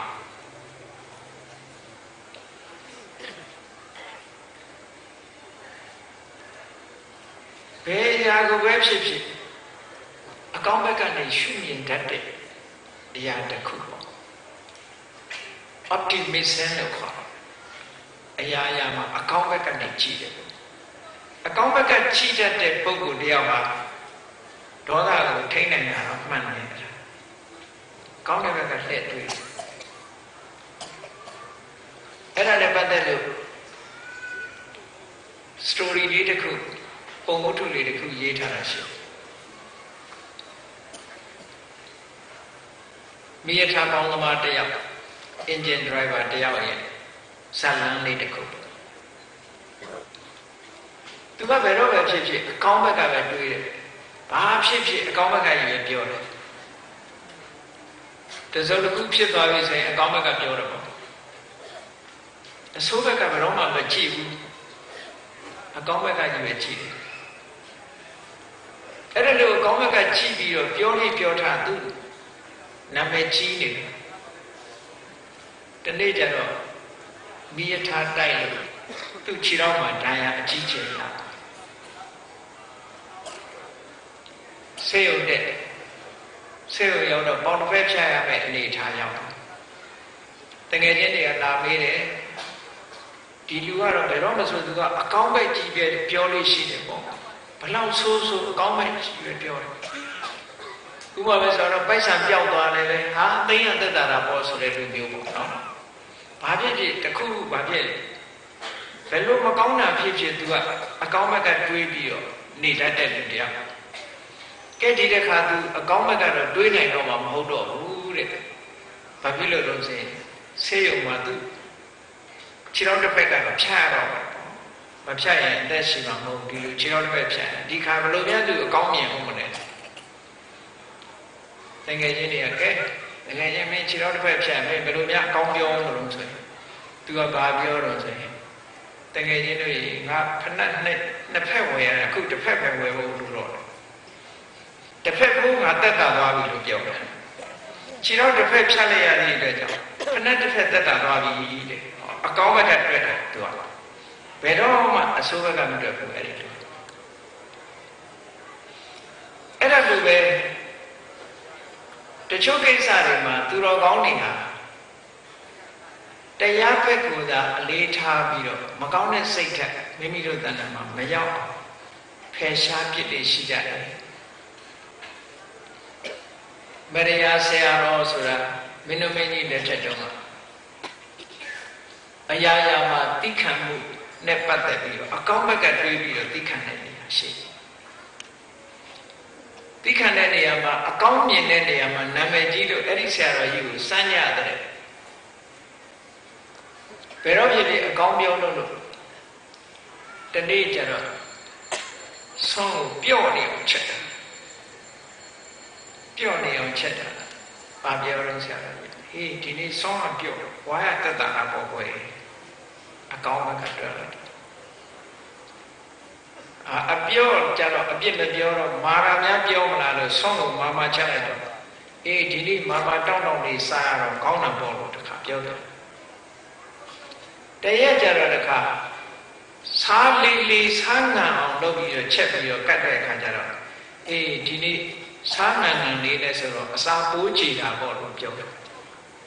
စားငံရမလားလို့စိတ်မဆိုးစားပူငံလေးအတွက်ကြောင့်အစာပူကြည်တာဟောတယ်နောက်တည့်ကျတော့စားမပါပဲနဲ့ချက်ပြီးတော့အေးဒီနေ့ရင်ငတ်တက်တာအဲ့ဒါလို့အကောင်းဘက်ကကြီးပဲတွေးပြီးတော့သူ့စိတ်ကိုသူထိမ့်သိမ့်ပြီးကောင်းတဲ့ဘက်ကနေစဉ်းစား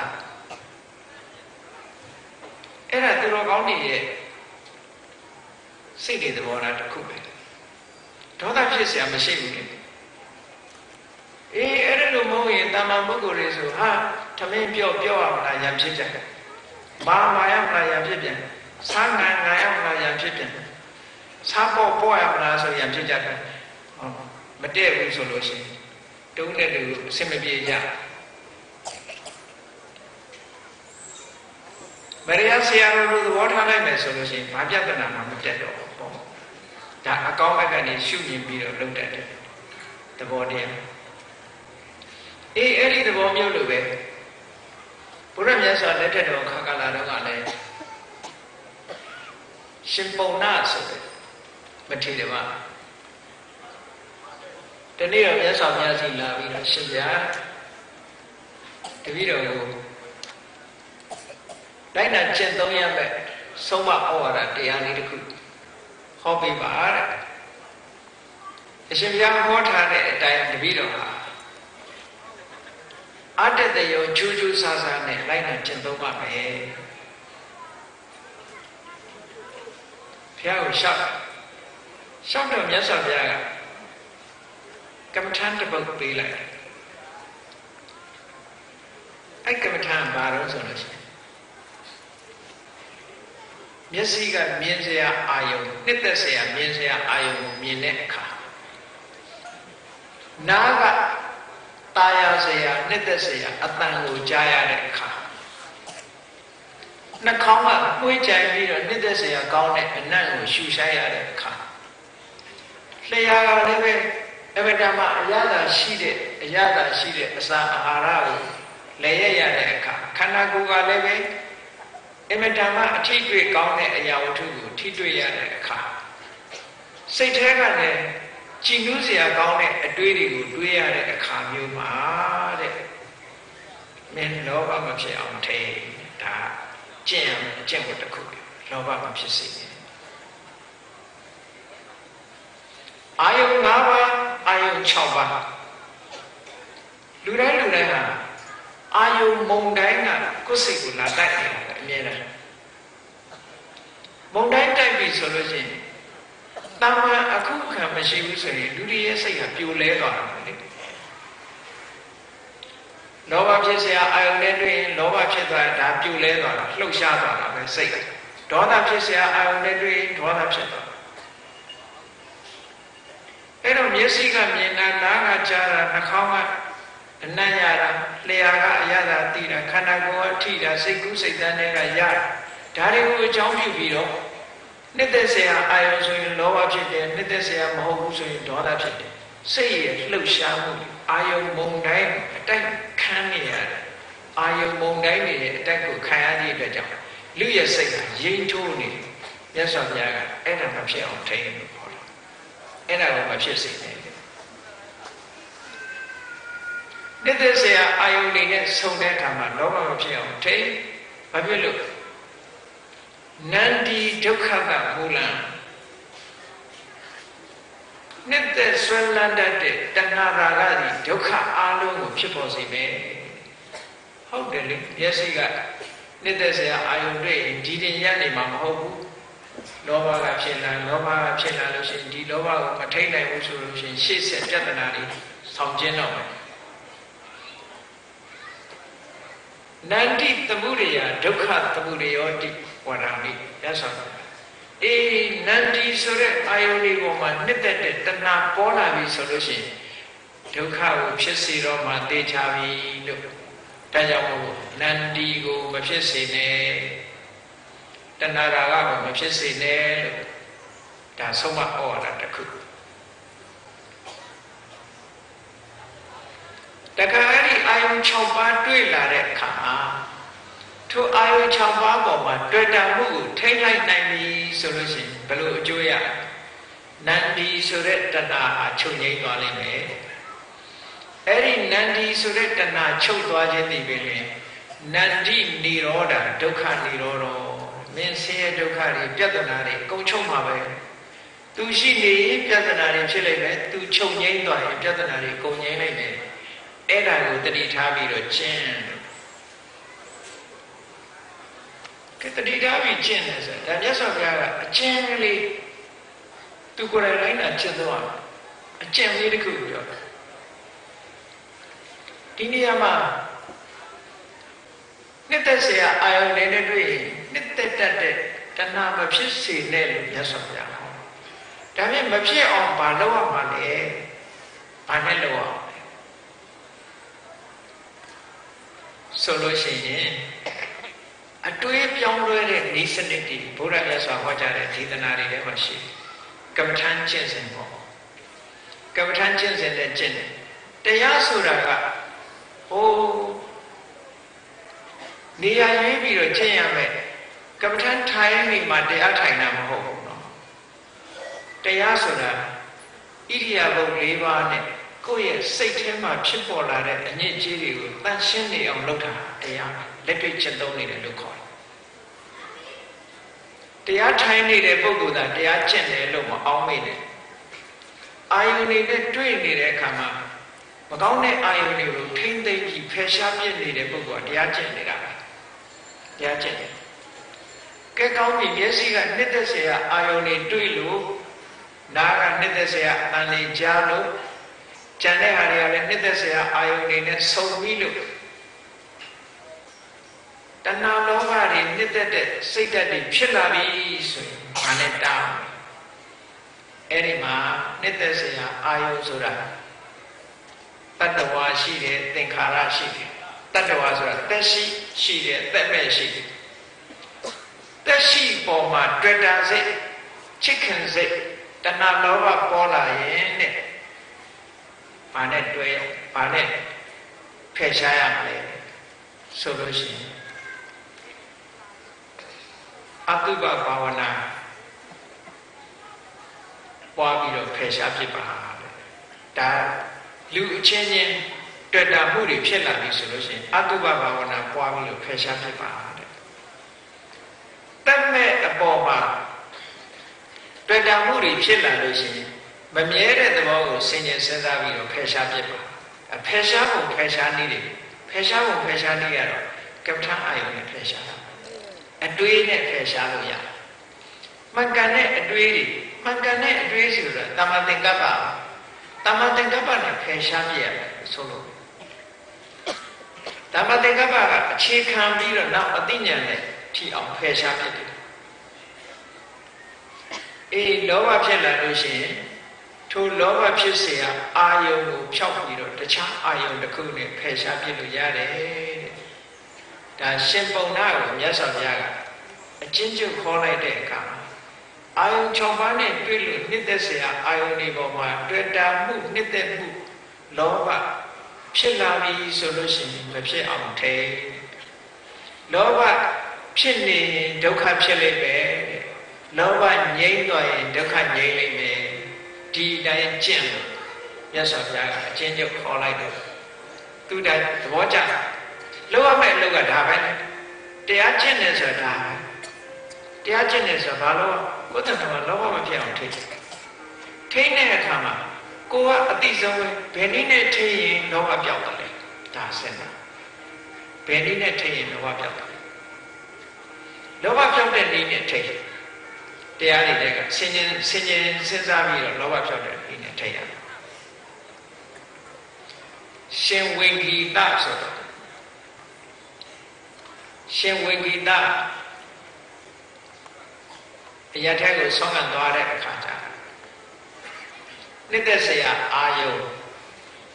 မတုကမအာယုံနဲ့တွေ့လာလို့စိတ်တွေဖောက်ပြန်လာတဲ့အခါဖွင့်ပြောတယ်ရှင်အနန္ဒာကို တပည့်တော်ဗျာတဲ့ကာမဂုဏ်အာယုစိတ်တွေတပည့်တော်ပရမိုးနေပါတယ်အဲ့ဒီကာမဂုဏ်အာယုစိတ်တွေကြောင့်စိတ်ထဲမှာပူလောင်နေပါတယ်တပည့်တော်ကိုငြိမ်းအေးအောင်ရှင်ဘုရားဆုံးမပါလို့ဆိုရှင်အနန္ဒာကဘာပြောလို့ဆိုအေးမင်းအမှတ်တင်ညာလွဲနေကိုဒီလိုဖြစ်တာပါမင်းတင်ညာလေးကိုပြောင်းလိုက်စိတ်ထဲမှာမှတ်ထားတာလေဘာလို့ဆို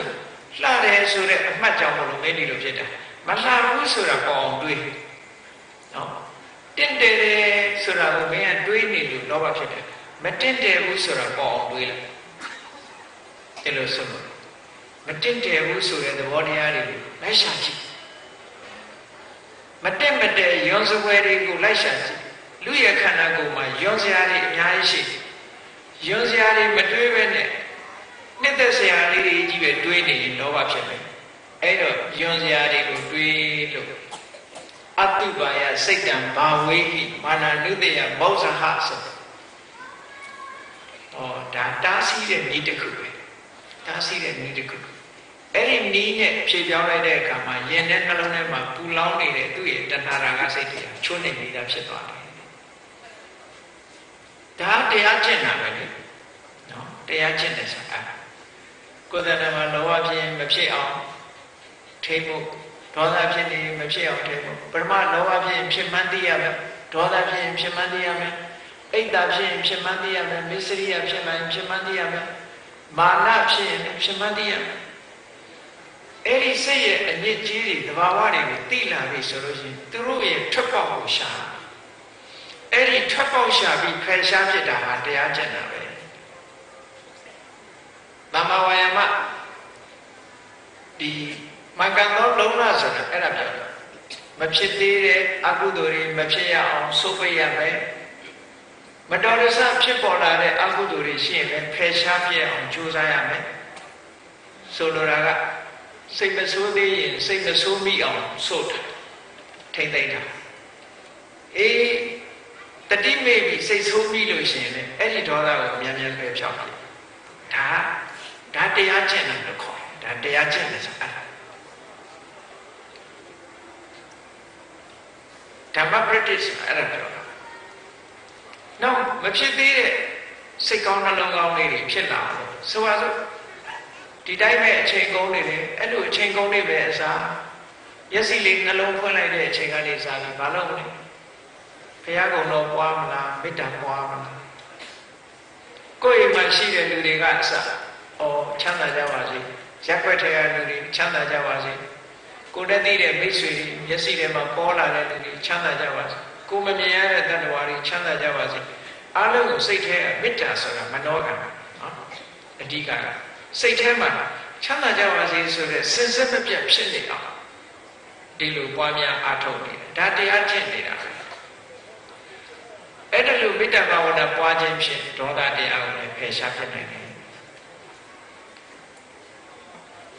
အချင်းချုပ်အဖြစ်နန္ဒီဆိုတဲ့တရားကိုဖယ်ရှားပြဖို့ရှင်ပုံနာကိုမြတ်စွာဘုရားဩဝါဒပေးလိုက်တယ်ဩဝါဒပေးလိုက်တော့ဒီတရားကျင့်ဖို့ရန်အတွက်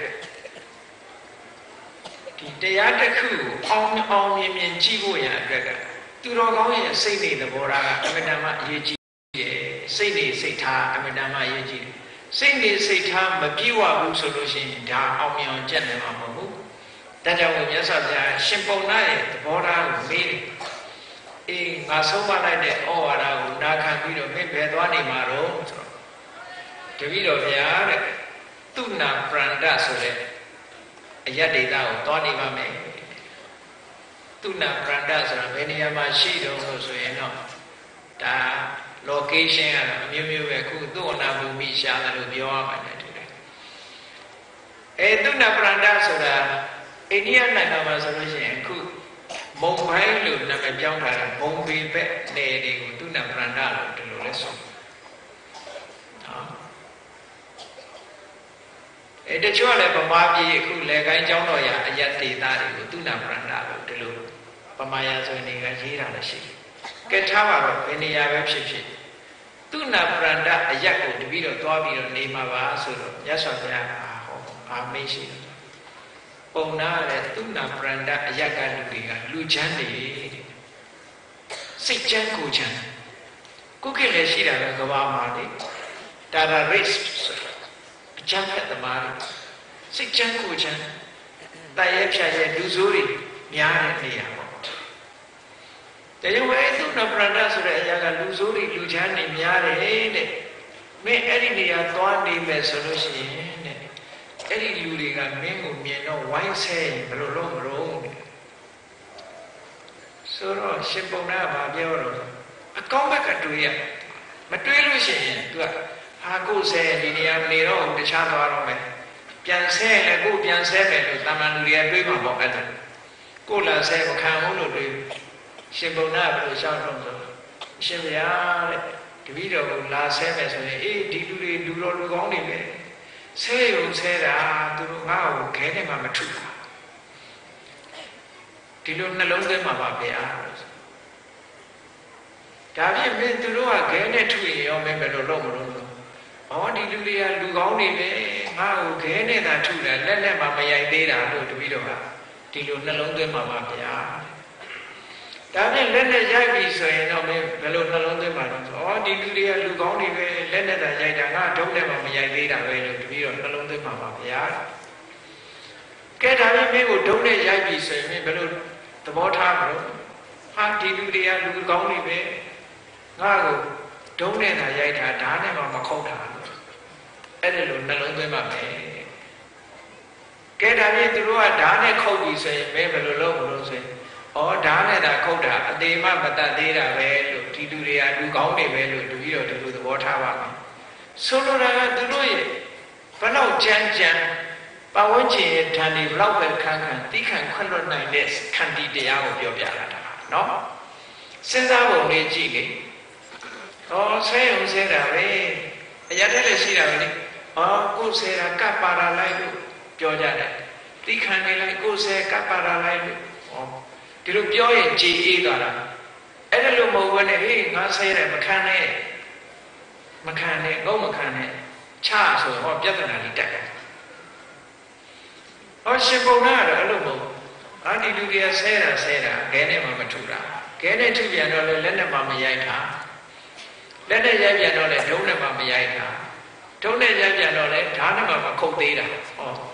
ဓာတ်နဲ့ခုတ်ပြန်တော့အသေးမှမတတ်သေးတာ ဆိုတော့မြတ်စွာဘုရားစကားကောင်းမေးတယ်ကဲမင်းကိုအသေးတတ်ပြီဆိုရင်တော့ဘယ်လိုနှလုံးသွင်းမလို့ဆိုတော့အရှင်ဘုရားတဲ့မြတ်စွာဘုရားတခင်ကိုရောမြတ်ရဲ့တပိသားတွေတချို့တရားဓမ္မကျင့်တဲ့အခါကျတော့ဟောဒီခန္ဓာကိုယ်ကြီးပေါ်မှာအပြစ်မြင်ပြီးတော့ရှင်သာရိပုတ္တရာတော်လို့လေရှင်သာရိပုတ္တရာဘာရိတောဘဝဘာရိနာခိရိဥစ္စာရိတောယထာ ခန္ဓာကိုယ်ကြီးတောင်ကအမတန်လေးလံတယ်တောင်ကြီးထမ်းထားရတယ်လို့ဝန်ပိတေချာစဉ်းစားမကြည့်ကြလို့ကတကယ်ကတော့လူဘဝကြီးကဘလောက်ဝန်ပိတယ်လဲခန္ဓာကိုယ်ရဲ့တာဝန်ကြီးကဘလောက်ကြီးတယ်လဲဆိုတော့မစဉ်းစားလို့ရှိရင်မသိဘူးနော်သူ့တာဝန်ပဲလုပ်နေကြတာလူတွေကအကုန်ခန္ဓာကိုယ်ကြီးရဲ့တာဝန်လုပ်အဲ့လိုလုံးနေသည့်အတွက်ကြောင့်သူကကိုယ့်ကိုဖေးပါပေးလာဆိုမပေးဘူးလုံးဝမငဲ့လုံးဝမငဲ့ ကြည့်ပြီမနဲ့အဲ့ရထားတဲ့အချိန်ကနေမျက်နှာသိပေးရတယ်သွားတိုက်ပေးရတယ်အကုန်လုံးစားစရာကြွေးရတယ်ခန္ဓာကိုယ်ရဲ့ဝတ္တရားတွေဘလောက်များလဲဒီထဲကနေသူကကောင်းလာလားဆိုမကောင်းတဖြည်းဖြည်းကိုအိုလာတက်ကြီးလာမျက်စိကမကောင်းဘူးတဲ့နားကမကောင်းဘူးတဲ့သွားကမကောင်းဘူးတဲ့ခါးကမကောင်းဘူးတဲ့ဒူးကမကောင်းဘူးတဲ့မကောင်းတဲ့စင်းတွေကတက်လာတာကောင်းတဲ့စင်းသိမကြံတော့နောက်ဆုံးကြနောက်ဆုံးကြတော့ အခေါင်းတလားတဲ့ဝင်ရသည်ထီအောင်အကုန်ရောမကောင်းတာတော့တဖြည်းဖြည်းချင်းမကောင်းတာလေးများလာစင်းထဲမှာဟောအဲ့တလောက်ဒုက္ခပေးတဲ့ခန္ဓာကိုယ်ကြီးကိုထမ်းထားရတာအခုကသူကနေပြီးတော့ကိုယ့်ကိုတတ်လိုက်မယ်ဆိုလို့ရှိရင်တဲ့မြတ်စွာဘုရားရဲ့တပည့်တွေကခန္ဓာဝန်ကြီးကိုညီးငွေပြီးတော့ခန္ဓာကိုယ်ကြီးကိုညီးငွေပြီးတော့ရှင်းတော့ကိုယ့်အကူ စူးစိုက်လုပ်တဲ့ကိုယ်တော်တွေရှိတယ်စူးစိုက်လုပ်တဲ့ကိုယ်တော်တွေကရဟန္တာတွေတော့မဟုတ်ဘူးပုထုဇဉ်တွေဒါပေမဲ့လို့ပုထုဇဉ်ဆိုပေမဲ့လို့သူတို့ကဝိပဿနာဉာဏ်ဒီနေဗိဒာဉာဏ်တို့ဘင်္ဂဉာဏ်တို့ဒီဝိပဿနာဉာဏ်အစွမ်းထက်နေသည့်အတွက်ကြောင့်ဘဝကိုညှင်းငွေ့နေတဲ့ပုဂ္ဂိုလ်တွေအဲ့ဒီပုဂ္ဂိုလ်တွေကကိုယ့်ကိုစူးစိုက်လုပ်တတ်တယ်စူးစိုက်လုပ်ကြတာရှိတယ်တချို့လဲအကုသိုလ်ကံကြောင့်ဒီလိုဖြစ်သွားတာ ကိုယ့်ကိုတတ်သိကြတာမျိုးရှိတယ်ဥပမာပဲရှင်ဝက်ကလေးတို့ရှင်အတ္တစီတို့ဆိုတာတိုင်ုံထဲမှာပါတဲ့အတ္တစီသုတ်တံကိုယ့်ကိုရှင်ဂေါရိကခန္ဓာကိုယ်ကြီးရဲ့ဒုက္ခကိုမခံနိုင်လို့ကိုယ့်ကိုယ်ကိုကိုယ့်အသက်ကိုကိုမနှမျောတော့ဘူးတရားဓမ္မဒီပုထုဇဉ်ဆိုတော့မုဒ္ဓိမှုဒေါသလေးတော့အနည်းငယ်ရှိတာပေါ့ ရဟန္တာဖြစ်ရင်တော့မလုပ်တော့သောတာပန်ဖြစ်ရင်လည်းကိုယ့်ကိုတတ်တာမလုပ်ဘူးအရိယာမဟုတ်သေးဘူးသို့တော့ဝိပဿနာဉာဏ်ထက်နေသည့်အတွက်ကြောင့်အဲ့ဒီပုဂ္ဂိုလ်တွေကဥမာပဲရှင်အတ္တစီဆိုလို့ရှိရင်ယောဂဝေဒနာပြင်းပြင်းထန်ထန်နှိမ့်ဆက်နေတော့ဘဝကြီးမှသူမနေကျင်တော့မနေကျင်တဲ့အခါကျတော့တင်နှုံးနာနဲ့သူ့လည်းဘင်းကိုသူလှီးပြီးတော့ဘဝကိုဆုံးသက်ဖို့ကြိုးစားရှင်သာရိပုတ္တရာကသွားပြီးတော့ဖြောင်းပြတယ်မလုပ်ဖို့ သို့တော်လည်းသူ့ကိုသူယုံကြည်တယ်သူမကောင်းတဲ့ဘဝမရောက်ဘူးအဲသူ့ကိုသူကိုအစစ်မြင့်တဲ့တရားကိုသိထားတယ်လို့ယုံကြည်နေတယ်အဲ့ဒါနဲ့ခန္ဓာဒုက္ခကိုမခံနိုင်တာနဲ့တင်နှုံးသားနဲ့သူ့လည်းပဲကိုသူလှီးလိုက်တယ်လှီးလိုက်တဲ့အချိန်ကျတော့ဘာဖြစ်လာတော့ဆိုအဲ့ဒီအချိန်မှာကြောက်စိတ်ကလေးဝင်လာတယ်နော်ဒီသိကျင်တဲ့လူကလည်းစောစောကသိကျင်တာ တကယ်သိရပြီဆိုတော့ကြောက်သေးတယ်အဲကြောက်စိတ်လေးဝင်လိုက်တဲ့အခါကျတော့ဘလောက်သူကတရားရှိလို့ဆိုရင်ကြောက်စိတ်လေးဝင်လိုက်တာနဲ့သူ့ကိုယ်သူသိသွားဟာငါယဟန္တာမဖြစ်သေးပါဘူးဒါမကောင်းတဲ့စိတ်ပဲဒီစိတ်မျိုးငါစီမပေါ်ဘူးအရင်ကခုပေါ်လာတယ်ဆိုပြီးတော့ရှုမှတ်နေကြတရားကိုဆက်ပြီးတော့အထုတ်လိုက်နိုင်တယ်လေဘဲကိုဓာတ်နဲ့လှီးထားတဲ့အတွင်းလေးမှာပဲဝိပဿနာကျင့်စဉ်ကဘလောက်သူတို့မှအဆင့်မြင့်နေတော့ဆိုရင် ဓာတ်နဲ့လှီးလို့သေအပ်ဆဲဆဲမှာဝိပဿနာအကျင့်ကိုကျင့်လိုက်တယ်ကျင့်လိုက်သည့်အတွက်ကြောင့်မလေးပါဖိုလေးပါဝိပဿနာဉာဏ်စွမ်းအားနဲ့မလေးပါဖိုလေးပါအစဉ်တိုင်းရောက်ပြီယဟန္တာလည်းဖြစ်ပြီးရောသုတိလည်းကြာသွားယဟန္တာဖြစ်ပြီးတာနဲ့နောက်တည်သွားအဲ့ဒီပုဂ္ဂိုလ်မျိုးကိုဇီဝိတသမတိတိလို့ခေါ်တယ်အသက်နဲ့ဒီယဟန္တာဖြစ်ပြီးတော့အသက်ကုန်ဆုံးသွားတာနဲ့ဟာဟို ခေါင်းချင်းဆိုင်ပြီးတော့ဝင်လာတာချင်းတူတူပဲလို့သူပြောတယ်မှန်တော့ယဟန္တာဖြစ်တာကနည်းနည်းလေးရှိကြဒါပေမဲ့လို့ဘေးကအမြင်မှာဆိုလို့ရှိရင်ချက်ချင်းကြီးရဟန္တာလည်းဖြစ်သေးလည်းသေးဒီလိုဖြစ်သွားတာဇီဝိတသမတိတိပုဂ္ဂိုလ်မျိုးလို့ခေါ်တယ်အဲ့တော့ဒီလိုအချိန်ကျွေးလေးမှာတရားတော်မှကျင့်ပြီးတော့ကိလေသာကုံအောင်လုံးနိုင်တယ်ဆိုတဲ့ သူ့ရဲ့ဝိပဿနာစွမ်းအားလောက်ထက်တယ်ဆိုတော့တာမန်ပုဂ္ဂိုလ်မှာတော့မဖြစ်နိုင်ပါဘူးเนาะလေဘင်းကိုဓာတ်နဲ့လှီးတဲ့အချိန်တုန်းကတော့ဘုသူရှင်ပဲအတိတရားရသွားတဲ့အခါမှာချက်ချင်းတရားကျင့်လိုက်တဲ့အတွက်ကြောင့်သူ့ရဲ့ဝိပဿနာဉာဏ်စွမ်းအားကမြင့်လာလို့ပို့ပြီးတော့စွမ်းအားတွေထုတ်တယ်လေလူဆိုတာအခက်အခဲကြုံလာလို့ရှင်တတ္တိပိုကောင်းလာဒါရှိတတ္တိပိုကောင်းလာတ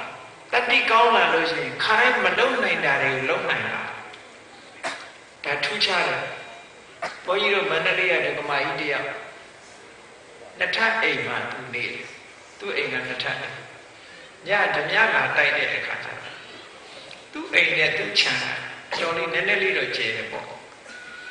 အဲ့ဒါကြောက်အမှန်နဲ့အိမ်မော်ကနေဗရင်မောက်ဖွင့်ပြီးတော့ဟိုဘက်ခုံချတာချမ်းဟိုဘက်ကြတာ တာမန်ဆိုလို့ရှိရင်ဘယ်လိုမှမခုံနိုင်ဘူးเนาะစိတ်ဆွမ်းအားတွေနဲ့ကြောက်အားလပ်အားလုံးရတဲ့အခါကျတော့သူကအောင်မြင်သွားတယ်အံ့ဩစရာကောင်းတယ်ပေါ့အခုလည်းပဲဒီပုဂ္ဂိုလ်ဟာဝိပဿနာကျင့်စဉ်အစွမ်းထက်သေရတော့မှပုထုဇဉ်ဘဝနဲ့သေရမှာမလိုလားဘူးဒါကြောင့်မို့သူ့ရဲ့တရားကျင့်တဲ့စွမ်းအားကိုမြတ်လိုက်တာမသေးခင်စัจ जा လေးအတွင်းမှာညာနာဖြစ်သွား စီဝိတသမတိတိပုဂ္ဂိုလ်ဖြစ်သွားအဲ့တော့အဲ့ဒီလိုပုဂ္ဂိုလ်မျိုးတောင်ကိုယ့်ကိုယ်ကိုဘဝတစ်ခုကိုအဆုံးတတ်ကြသေးတာတဲ့တပည့်တော်မှာသူတို့ကလာပြီးတော့ကိုယ့်ဘဝကိုအဆုံးသတ်ပေးတယ်ဆိုတော့တပည့်တော်ကကျေးဇူးတင်ရအောင်ပါပါဒါနောက်ဆုံးပိတ်စကားတစ်ခုရှင်ပုံနာပြောလိုက်တာတပည့်တော်ကိုအသေးတတ်လည်းပဲတပည့်တော်ကကျေးဇူးတင်ပါပါတဲ့သူတို့ ဆိုတော့မြတ်စွာဘုရားကအေပုံနာမင်းဒီလိုစိတ်သဘောထားမျိုးနဲ့ဆိုရင်သူနာပရန္တမှာနေလို့ရပြီကြည်ဒါသူတော်ကောင်းတွေရဲ့စိတ်တွေသဘောထားလို့ခေါ်တယ်ဘယ်လိုအခက်ခဲပဲတွေ့တွေ့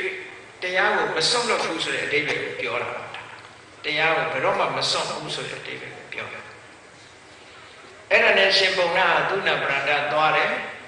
သူ့ရဲ့ဟောပြောချက်ကြောင့် ဝါတွင်၃လမှာပဲဗုဒ္ဓဘာသာဝင်ဖြစ်အမျိုးသား900အမျိုးသမီး900ဗုဒ္ဓဘာသာဝင်ဖြစ်တရဏဂုံတည်သွားကြတယ်သူကိုယ်တိုင်ကလည်းပဲဝါတွင်၃လအတွင်းမှာယ ahanan ဖြစ်သွားတယ်အဲ့ဒီရမှာပဲရှင်ဘုံနာပြိဋိကဆံသွားတယ်လို့ဘုံတော်ဝါဒသုတ်တန်မှာရသော်ပြဒီလိုဟောတယ်အဲ့ဒီရှင်ဘုံနာရဲ့စိတ်နေသဘောထားတွေကဒါသူတော်ကောင်းရဲ့စိတ်နေသဘောထားပါပဲတဲ့ အဲ့ဒီလိုစိတ်နေသဘောထားကိုထားနိုင်မယ်ဆိုလို့ရှိရင်ဘာပြဿနာမှမတက်တဲ့ပြင်ကိုယ့်ရဲ့ရှင်တွင်းကငြိမ်းချမ်းတဲ့စိတ်အနေထားတစ်ခုဘယ်တော့မှမပျက်စီးပဲနဲ့ထာဝရငြိမ်းချမ်းတဲ့အငြိမ့်တက်ကိုမျက်မှောက်ပြုနိုင်ကြမှာဖြစ်ပါတယ်။ဒါကြောင့်ဟိုတရားချက်ခင်သူတော်စင်ပြိဿတ်တို့သည်တာမန်ပုဂ္ဂိုလ်တွေသဘောထားမျိုးမဟုတ်ပဲနဲ့ကိုချင်းတရားကိုဆိုပါတော့ ဒီစာမရီဆိုတဲ့သမရဆိုတဲ့တိဘက်နွားလို့ပြောကြတာစာမရီသားကောင်ဟာသူ့ရဲ့မြည်ဆံကိုတိတ်တံမိုးထားလို့သုကက်တွေပါနေနဲ့ညှိနေလို့ရှိရင်မြည်ဆံကျွတ်သွားမှဆိုသည့်အတွက်ကြောင့်မယုံဘူးတဲ့အဲ့မှာပဲအသိခံတယ်လို့ဆိုတယ်အဲ့ဒီစာမရီသားကောင်ဒီမြည်ဆံအတွက်အသက်အသိခံတယ်လို့ကိုချင်းတရားအတွက်အသက်သိခံဝတ်နဲ့စိတ်နေသဘောထားဟာသူတော်ကောင်းရဲ့သဘောထား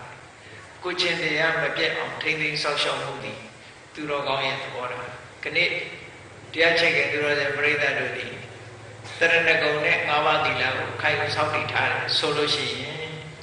၅ပါးသီလကိုဘာအတွက်နဲ့မှငါတို့အပြစ်မခံဘူးအသက်ကဲ့သို့တန်ဖိုးထားမယ်အသက်စွန့်ပြီးတော့စောင့်နိုင်အောင်တို့ကြိုးစားမယ်လို့ဒီလိုစိတ်သဘောထားထားနိုင်လို့ရှိရင်တကယ်သူတော်ကောင်းတွေရဲ့စိတ်နေသဘောထားမှာကိုယ်တဏ္ဍာမှာရောက်လာမှာဖြစ်ပါတယ် ဒါကြောင့်မို့တရားချိတ်ကသူတော်စင်ပြိဿတို့အနေနဲ့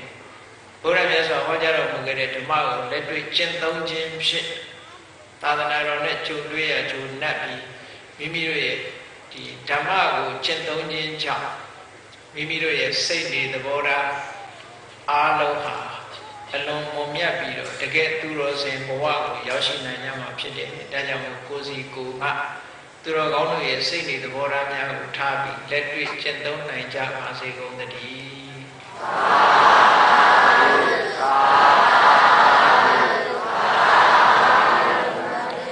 ကဲမေတ္တာပို့ရတတ္တဝါများစွာတတ္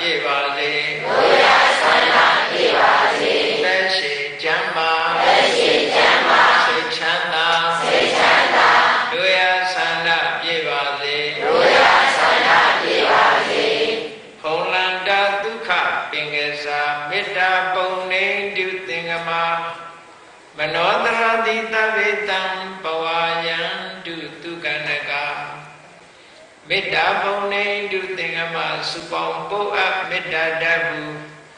ရောင်ယူပါဝင်းငွေလာမင်းနှင့်ရောင်ခြင်းရှေယုံပေါင်းဆောင်ရခြင်းကြောင့်သဗေတံကျွင့်မဲ့ဥဒ္ဒုံလုံးစုံများစွာတတ္တဝါတို့ဤမနောတရတိမြင့်မြတ်ဖြူစင်အေးကြည်လင်းသည့်ရေစဉ်ပြည်တင်းစိတ်နှလုံးတည်ဟူသောရေအိုင်ကြီးအတွင်၌ဒုက္ခပင်ကရာစင်ထာဝရအေးမြတ်တာယာ တာယာပွင့်လန်းချမ်းသာဒုက္ခတည်ဟူသောကုမုဒ္ဒရာဇာဗန်တို့သည်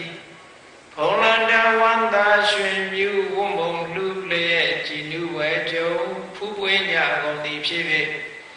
သူကန္နကလေအောင်လေးတဲ့ရောရှက်သင်ပြန့်ပီတိဤဟုသောယနန်တို့သည်ဘဝယံတုကောင်းစွာမသွေကြိုင်နိုင်၍နေ